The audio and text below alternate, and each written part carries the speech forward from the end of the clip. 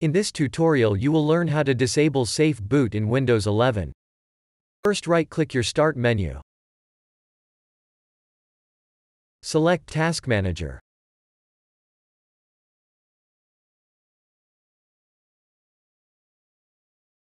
Click on More Details.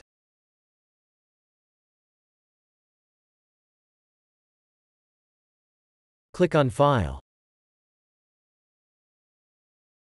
Click on Run New Task. Type msconfig.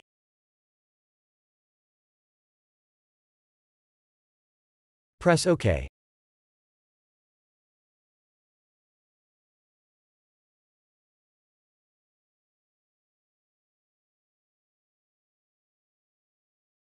Select the Boot tab.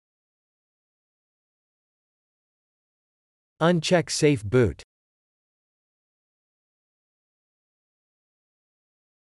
Press Apply and then OK.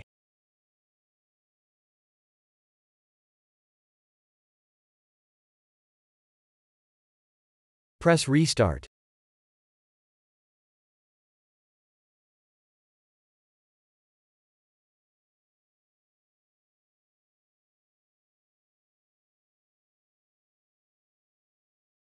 Now your problem should be fixed.